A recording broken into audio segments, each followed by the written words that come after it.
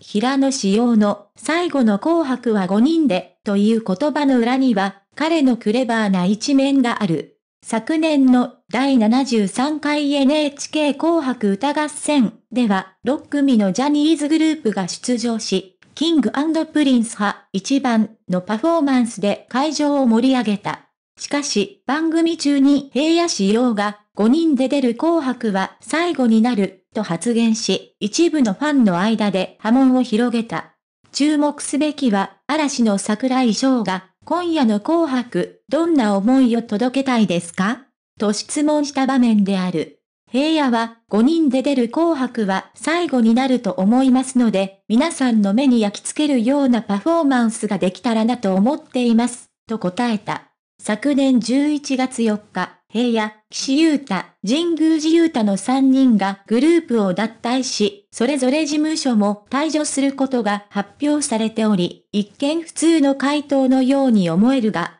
デリケートな問題なので聞きたくなかったという声もあるかもしれません。が一部のティアラキングプリンスへのファンは事務所に言わされたと疑って SNS で不満を表明しました。スマップ騒動などを重ねて、タレントが本心を言えない状況にあると考え、また脱退退場も3人が望んだことではないと信じている人たちも多いのです。とアイドル誌の記者は語る。しかし、平野自身が言った言葉には、彼の起点が働いているという見方もある。実は昨年12月3日に生放送されたベストアーティスト2020に日本テレビ系がこの騒動の発端でもあるんです。この番組でも桜井さんがマックを務めており、キンプリの登場時に、このメンバーでのベストアーティストへの出演は今夜が最後になるということです。と紹介したことで一部で騒動が起きたんです。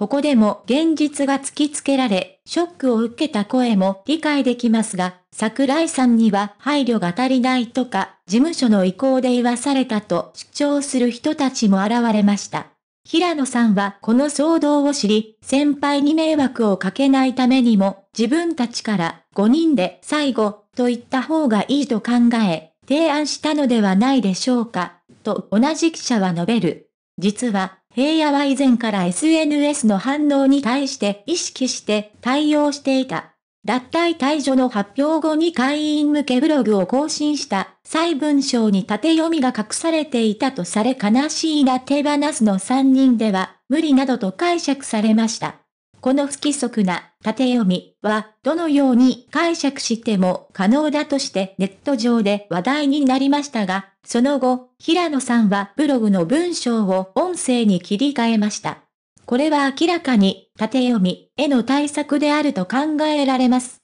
と同じ記者は述べる。つまり、彼は一部の過激なファンに対策をとっていたのである。平野の土天然なイメージからは想像しにくいかもしれないが、平野さんは確かに天然キャラですがバラエティ番組などで見せる土天然ぶりは実は演技の一面もあると思います。関西ジャニーズ JR 時代やそれ以前から平野さんを知っている人たちが口を揃えて言うのは、あそこまで天然ではないということです。しょう。実際、バラエティ番組での発言をよく見ると、天然というよりも、その場の流れを読んで狙ったボケのように感じられる場面もあります。彼は完全にビジネスのために天然ぶっているわけではないですが、バラエティ番組向けに自ら演出している一面もあるでしょう。そのような側面も含めて、彼は意外にもクレバーな人物だと思います。と同じ記者は述べる。また、主演ドラマ、クロサギ、TBSK でも、彼は英語だけでなく中国語のセリフもこなし、非常に本格的な演技を見せたことでも評判となった。退場後も彼のクレバーさを活かして活躍してほしいと期待されています。大変お世話になりました。最新の情報をスムーズに受け取るために、ぜひチャンネル登録をお願いします。心から感謝しています。ありがとうございました。